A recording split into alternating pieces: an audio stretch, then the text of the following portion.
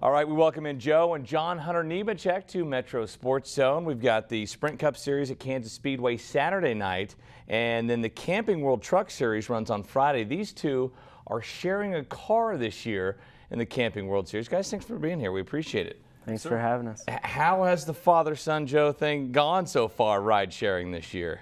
Well, uh, we both we both have done one race this year. Uh, you know, this year was about trying to get John Hunter some experience in the in you know his next step, moving up the ladder in the in the racing world, and uh, getting him some good quality seat time in some uh, Camping World Truck Series races, and being competitive. And uh, it started out as a 10 race deal, and next thing you know, we've we've turned into run the full season, trying to run for the owners championship, and uh, we're just thankful we have a, a good pa- uh, partner with Sid and Donna Malden uh, helping us out this year. Now, John Hunter, you're 16, right? Yes. So what has this been like, getting to race with the big boys? uh, it's been very fun. Um, it's definitely an opportunity of a lifetime. Um, being 16 and be able, being able to run the NASCAR Camping World Truck Series is definitely a great opportunity that many kids would want at Oh, my yeah. age. So uh, it's definitely an awesome experience, especially to s- share it with Dad um, for the races that I can't run. It's definitely going to benefit us. Now you mentioned that there's races he can't run,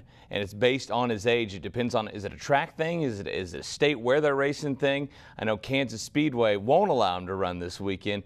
What tracks will? What tracks won't? It's mainly NASCAR is set. Uh, excuse me, there. That's quite all right. NASCAR has set uh, the rules as far as track length because of the speed Mm-hmm. and uh, the age requirement. So anything 16, at 16 years old, you can run a mile and a quarter and less. Basically, the short tracks.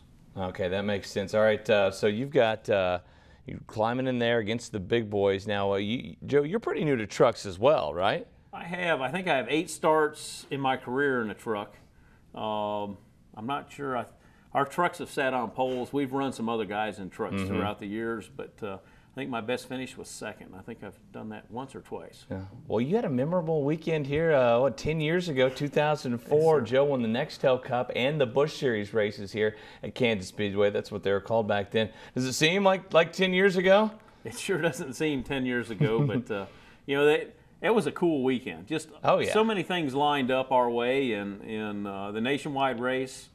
Uh, had a little controversy there at the end with Tony Stewart, but uh, we came out in victory lane and, and got that win. And then the Cup race, we had a fast car, but didn't know if, if things were going to work out right. And the gas mileage strategy worked out. And next thing you know, we were leading the race late in the race. Right.